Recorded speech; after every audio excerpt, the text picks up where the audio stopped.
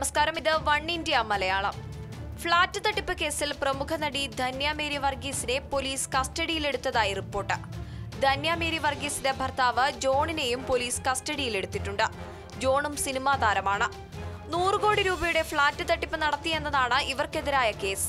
Flat നിർമ്മിച്ചു നൽകാമെന്ന് പറഞ്ഞ് പണം വാങ്ങി ഉപഭോക്താക്കളെ പറ്റിച്ചുവെന്നാണ് താരത്തിനും ബന്ധുക്കൾക്കുമെതിരായി നൽകിയിരിക്കുന്ന പരാതി.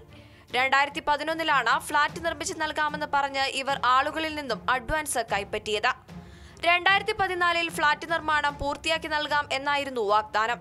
എന്നാൽ അത് പൂർത്തിയാക്കി നൽകിയില്ല.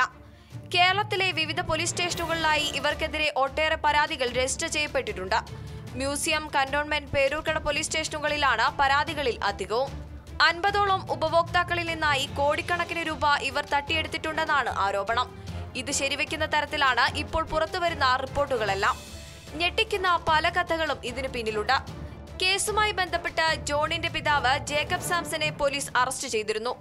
ഇദ്ദേഹമാണ് സാംസൺ ആൻഡ് സൺസ് ബിൽഡേഴ്സിന്റെ ചെയർമാൻ. ധന്യയുടെ ഭർത്താവ് ജോൺ ജേക്കബും ഇതിനകം തന്നെ കേസിൽ പ്രതിയാണ്. കേസിൽ അന്വേഷണം പുരോഗമിക്കുകയാണെന്ന് പോലീസ് വൃത്തങ്ങൾ അറിയിച്ചു. തലപ്പാവ് എന്ന ചിത്രത്തിലൂടെയാണ് ധന്യ മേരി വർഗീസ് മലയാളത്തിൽ അഭിനയിച്ചു തുടങ്ങിയത്. തിരുടിയാണ് ആദ്യ ചിത്രം. ഇതിനുശേഷം ഒരു തമിഴ് ചിത്രത്തിൽ കൂടി അഭിനയിച്ച ശേഷമാണ് ഇവർ മലയാളത്തിലെത്തിയത്. മോഡലായിട്ടായിരുന്നു കരിയറിന്റെ തുടക്കം. ധന്യ മേരി വർഗീസിന്റെ ഭർത്താവ് ജോണും സിനിമാ നടനാണ്.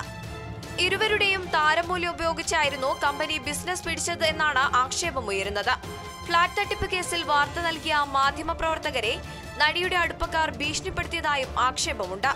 കൂടുതൽ വാർത്തകൾക്കായി വൺ ഇന്ത്യ മലയാളം സബ്സ്ക്രൈബ് ചെയ്യുക.